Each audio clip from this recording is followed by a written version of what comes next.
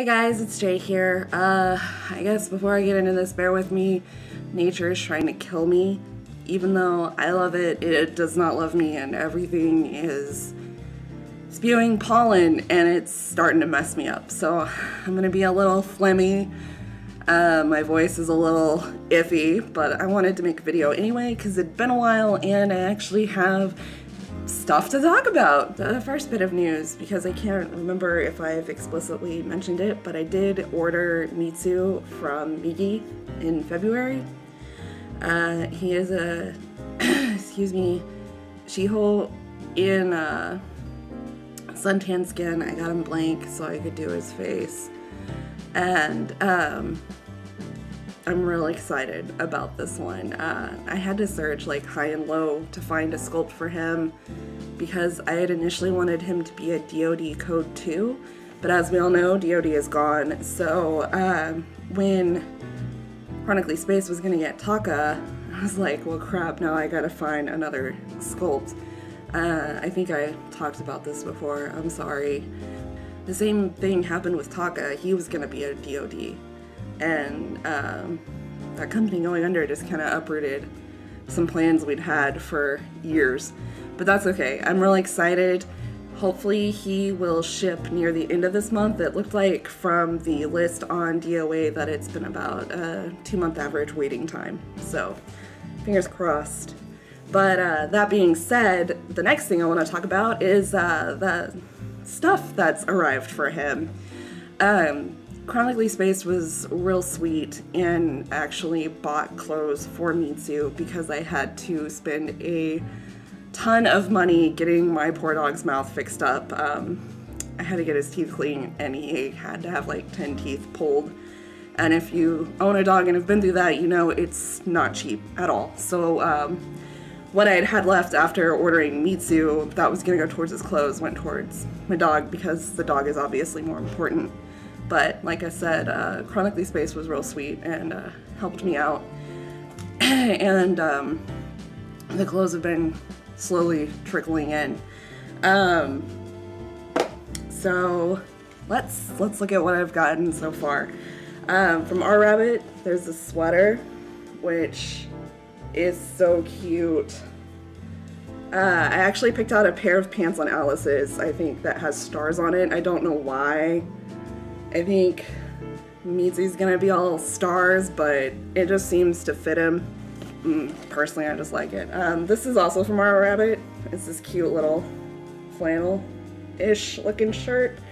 Uh, it's real soft, it's made really well, and uh, I hope it fits. I had to buy him 70 centimeter size clothes from them just because when I compared the measurements to the Migi body, the uh, excuse me, the size below that would have been too small in a bunch of places, so I erred on the side of going too big because at least it'll fit even if it's a little baggy.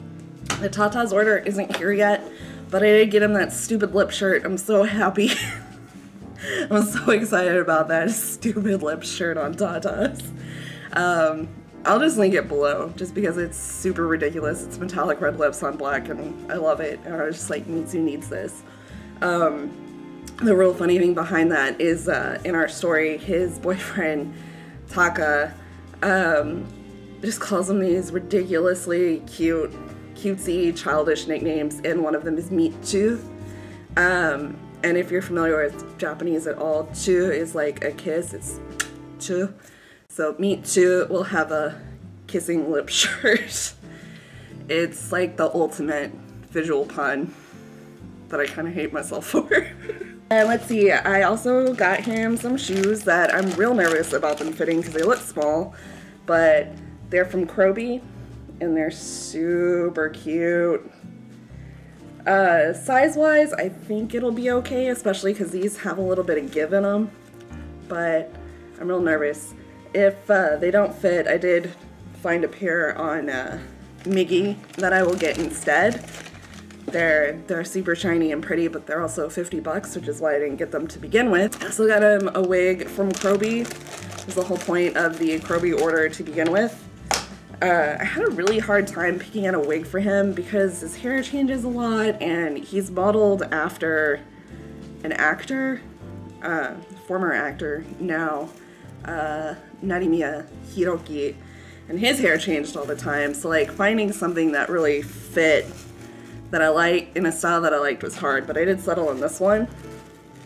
Uh, yeah, that's the front. I like the uh, black and blonde colors, and I think it'll look really good on his tan skin. The uh, other thing that came in were his eyes from, uh, oh god, I blanked, from Soul in a Box Dolls on Etsy. Uh, I have a video in which I gushed about their eyes.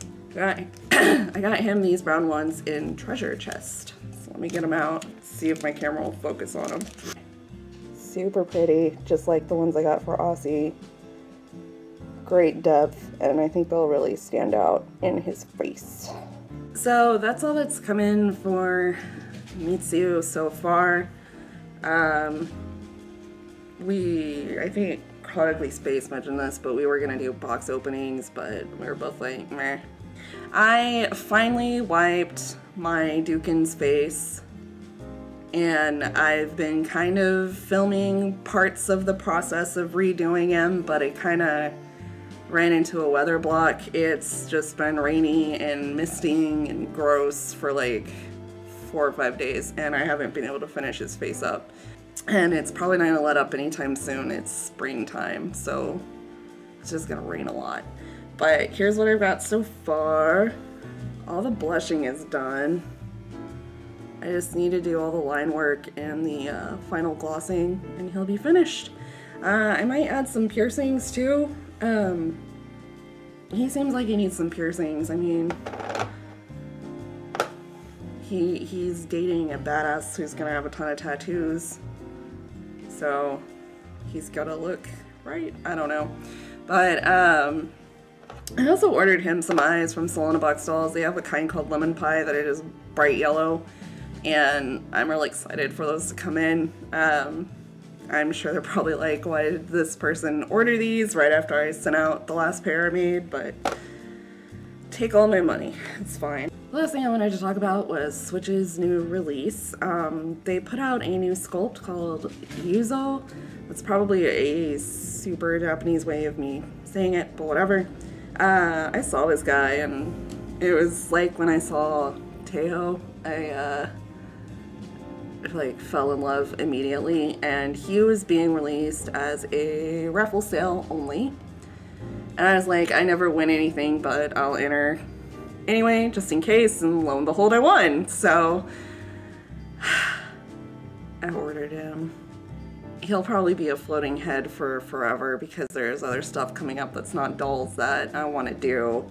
But I'm happy that I was able to purchase him and I'm really excited about it. So, yay! When uh, when he gets done and he gets here, I'll do a proper box opening for him because he's he's special.